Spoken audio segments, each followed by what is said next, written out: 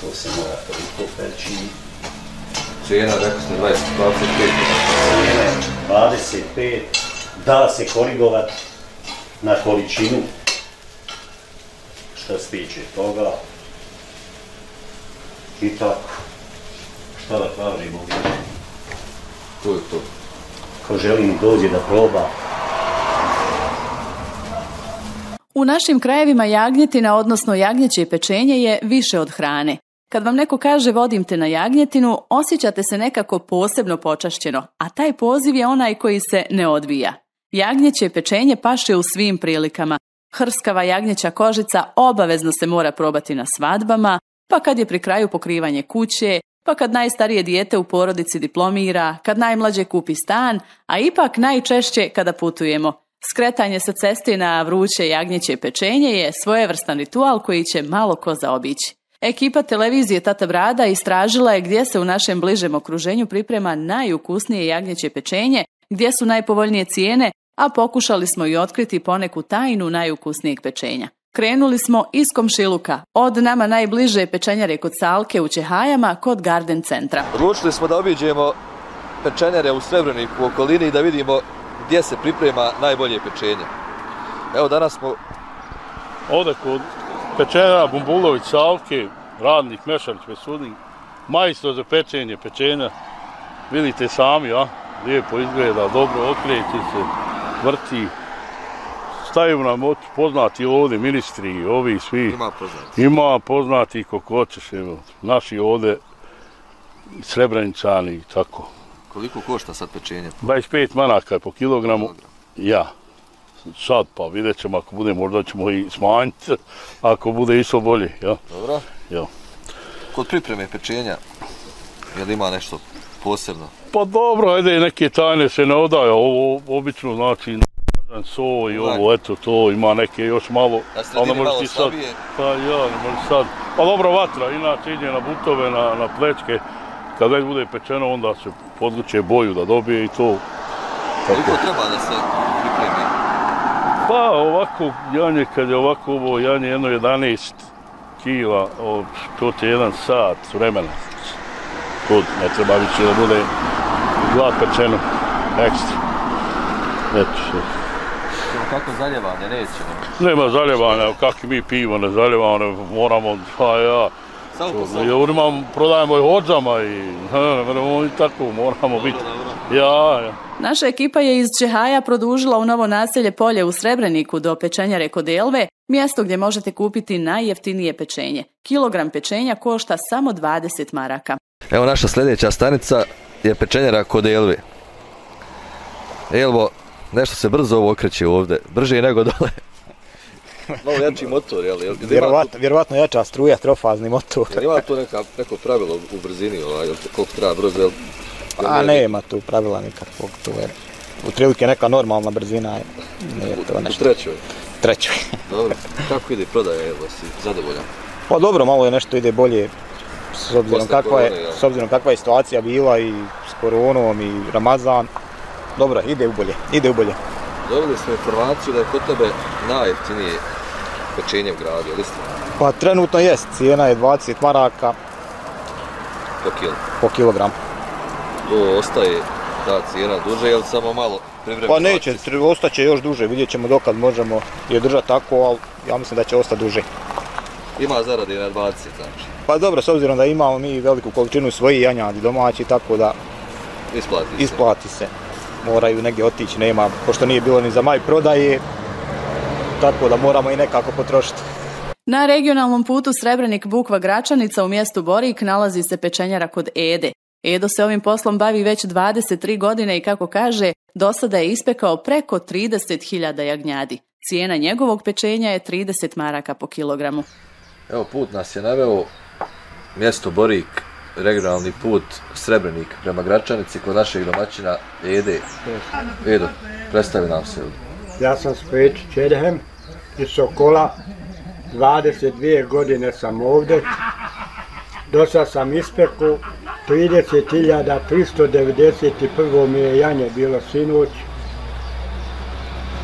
Brojiš od početka evidencije? Ja, ja, poljega sam sve platio, redovito. sad sam momentalno u penziji, žena mi ovo sad preuzela na sebe i tako radimo. Održajemo muziku, petkom bude na večer, bude Izudin Osojkić, Alija Dobašćani, Bojići s njima i tako. Zadovoljni ste poslije toga? Evo, uvijek sam zadan posto u prosjeku. pečenja. U prosjeku ide dva do tri janjeta na dan, sada. A ima dana išlo po 50 janjadi na dan. 50. To je bilo maj, kad je uči maja. Maja, da. To je bilo, eto. E sad neki su nam otkrili da je najbitnije, kažu da je mlado janje, jel di dobro, za, za kvalitetno pečenje. Ne, ja sam išao u Jablancu, kod Gojka, Dobro. i kazao mi je recept. Ja janje ne pečem više od 45 minuta. Sat u vrh glave, ako je 18-19 kila janje, to je. Poznati jablanički Jest. recept. Eto. U svako janje ide do 3 kile soli. Ja ako ne operem njega pivu, ne možeš ga jest. Jer sve je izišlo kad janje prokuva, svu je su Su izbilo. izbaciti, onda se mora opet. Jest, onda ako perem ga sa pivom.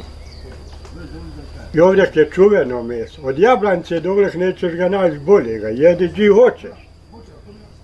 Imam plava klinika tuzlanska, sva je kod mene, subotom dođe. Brčko, Bijeljna, Beograd, Zagreb. Na vreme ja u Beograd poslo sam dosao oko 700 janjada. Mak su uzle doktori jave, doće naš čovjek iz specija. Prijem po narušu. Na jedno janje 3 kile soli. Jeste. A i da ga pečeš po kili sirovoga, 3 minuta.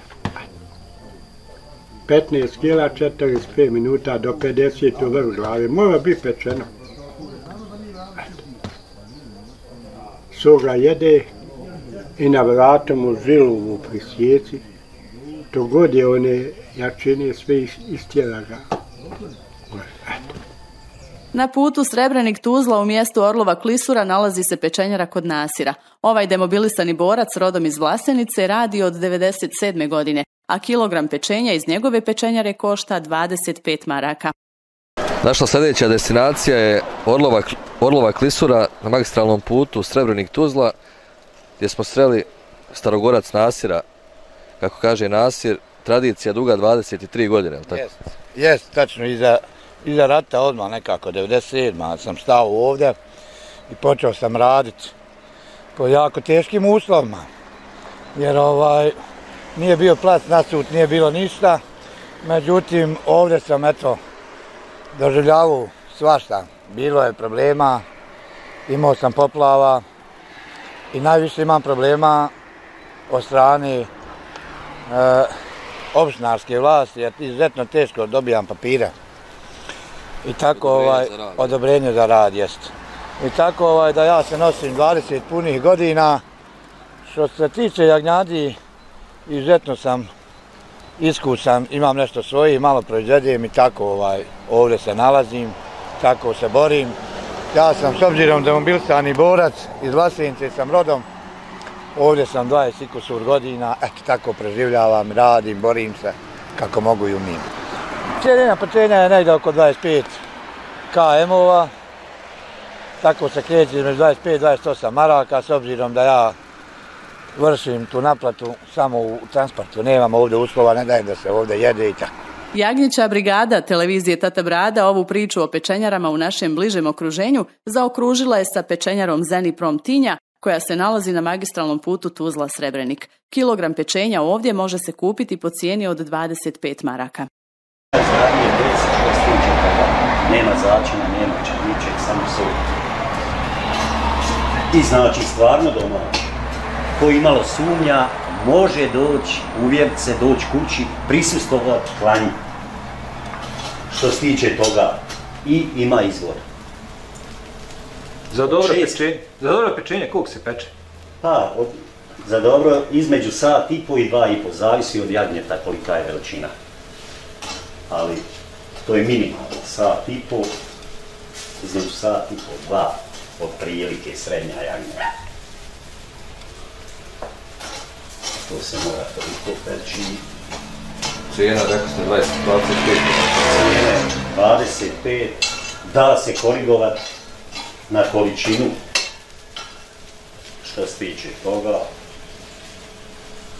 I tako. Šta da kažemo? To je to. Ko želim dođe da proba,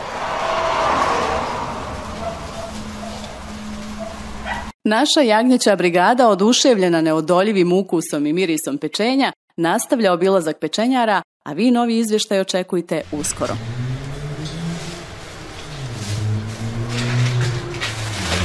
Slobodno, mladi gospodin. Ovo ste ljubazni došli.